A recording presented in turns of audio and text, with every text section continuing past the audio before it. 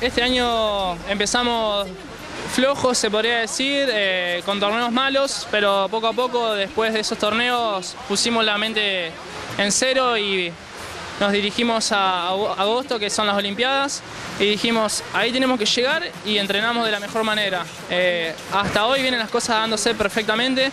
Eh, hace tres semanas fuimos a México, muy buenas marcas me salieron por suerte. Eh, hace dos semanas estuve en Mar del Plata, un torneo de mayores, pude bajar lo que hice en México y venimos así, progresando se podría decir, para la semana que viene poder, poder bajar las marcas que hice hace un año. ¿Cómo viene el tema de la clasificación para los Juegos de la Juventud? ¿Cómo se clasifica para llegar a esa competencia?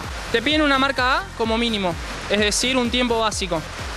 Eh, para poder estar entre los que tienen posibilidades de ir a la Olimpiada tienen que tener esa marca A. Luego de los que tienen esa marca A, al haber por ejemplo dos plazas nomás para varones, si hay cinco varones con esa marca ya se va a un tema de ranking mundial un ranking mundial entre los países que no quedaron, que quedaron después del 16 puesto en el Mundial de Barcelona de mayores. De ahí se verán las plazas que hay disponibles para, estos países y en ese ranking, si nosotros entramos, eh, tenemos posibilidades de ir a las Olimpiadas. Para este torneo siento que tengo posibilidades, eh, digamos que estoy ilusionado eh, y la verdad que lo veo posible.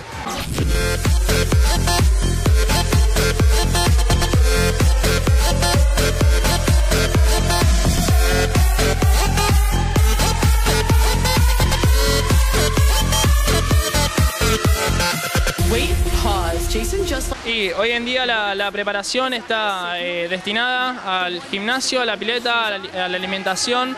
Eh, mis días son levantarme a las 4 de la mañana, venir a nadar, eh, salir a las 7, ir a la escuela, salir a las 3, venir a nadar y a las 6 estar en el gimnasio.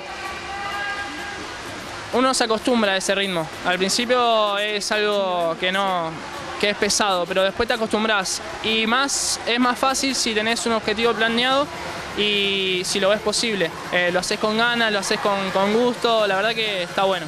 Eh, Santiago, vos sos un deportista amateur y la preparación, los viajes, los torneos, nada es gratis, todo tiene su costo. ¿Cómo hace un deportista amateur para costear todos esos gastos?